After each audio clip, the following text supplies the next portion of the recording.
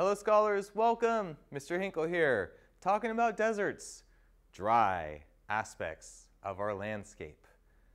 But they are not just aspects of our landscape, they create specific landforms. Which came first, the form or the process? The earth is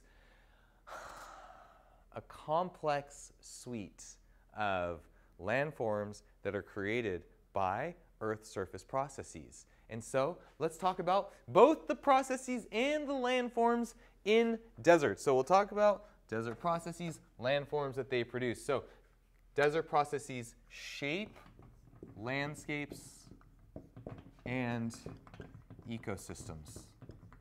The ecosystems are sparse, but they are still there. I know we don't talk about biology very much in this class, but these processes are dominated by the fact that there's not very much precipitation. The temperatures are extremely variable. There's not much vegetation, and they can have very high winds, wind being a very active agent of erosion in these desert landscapes. So, erosion carves valleys through flash flooding, large magnitude floods that happen infrequently. It doesn't never, that was too many negatives. It rains in deserts very infrequently. And when it does, that rain comes down super fast and it fills up these canyons, eroding channels, carving canyons, depositing sediment, creating different landforms that we see. Weathering in the desert happens through temperature fluctuations.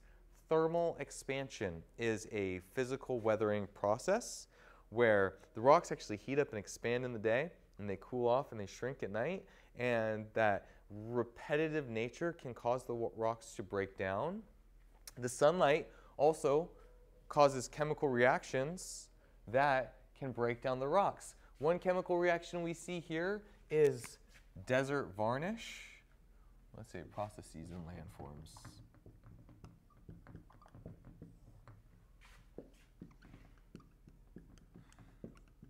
Which is a coating on the exterior rocks that forms due to mineralization. It's also known as desert patina or rock rust. And if you're really lucky, you can see petroglyphs carved by First Nations peoples in times that uh, from the past, kind of preserving ancient history of cultures existing on our earth. Awesome. Desert pavement is another erosional feature where the rocks that are in, eh, it goes like this. Let's draw a picture. So you have a bunch of rocks deposited in sand, and then the wind blows, and it plucks up all the sand, making the rocks closer together, forming what is known as desert pavement. It's kind of like concrete on the ground, but formed by natural processes. I love natural processes and seeing these things on Earth. Go to Death Valley, you'll see pebble and cobble-sized sediment that has formed a thin veneer, a pavement, closely packed, interlocking, angular, and rock, uh, rounded rock fragments. So, deserts weather, they erode, they transport. They transport through flash floods, they transport through wind. It's called aeolian transport. A E O L I A N. A lot of vowels in that word. I love it. But aeolian is a fancy word for wind transport that's happening in deserts. Special shout out sliding stones, aka racetrack rocks. So you see a dry lake bed and a rock in it and a stone and a path leading up to it. The heck is going on here? Use your scientific eye to tell us. Well, the leading theory here is that when it does rain, and in certain times it rains and then it gets cold, it rains, it floods the, this lake bed, it freezes, elevating the rock, and then it's windy and the wind pushes the rock as it glides along the ice, carving behind it a pathway. And when all of that rain and ice disappear, what's left behind is the sliding stone. really cool, awesome. When I learned about these, nobody knew. There was ideas, but now we have this leading theory of sliding stones, landforms. These are desert erosional landforms. Yardangs, when you have a piece of resistant rock and everything else uh, erodes away, the landform carved by the bedrock, left over is the yardang. Ventifacts are rocks on the surface that are sculpted and carved by the wind and the sand. It's kind of like nature's sandblaster carving at the rocks.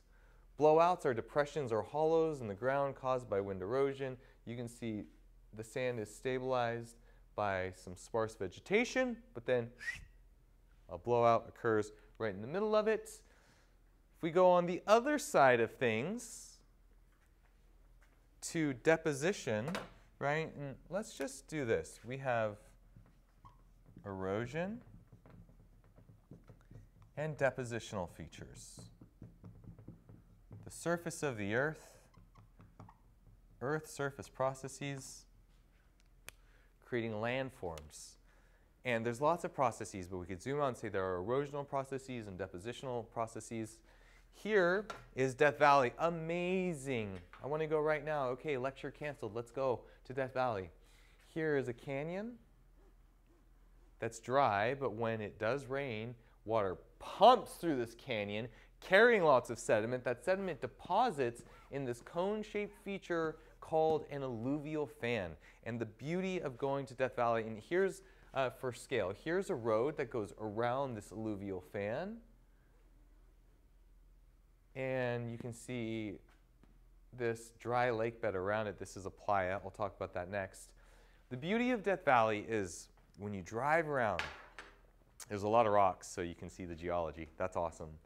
But then you have these alluvial fan features. These might be one of my favorite features, geologic features or landforms of Earth's surface. Beautiful cones, and then on various parts of it, you have these cone-shaped features, alluvial fans, all coalescing together to form one big large mountain front. It's called a bajada.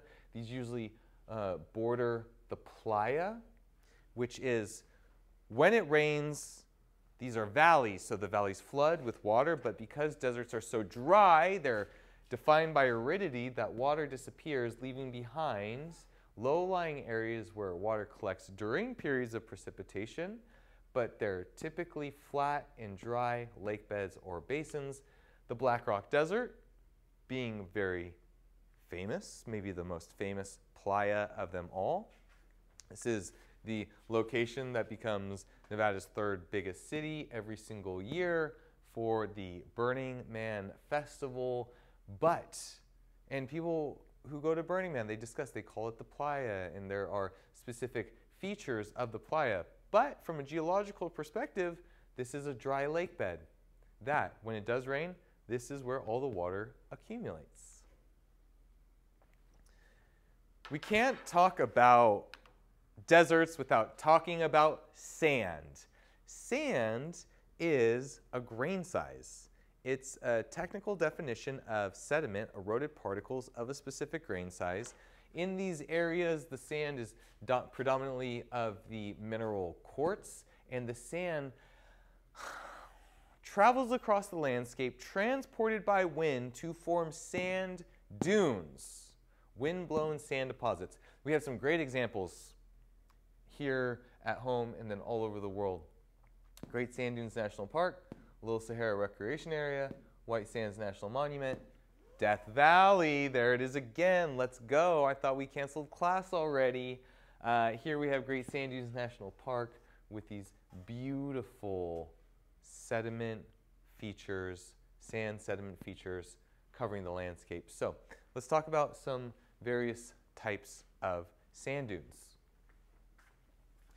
Crescent-shaped sand dunes are called barchan. They're dunes with horns pointing downwind.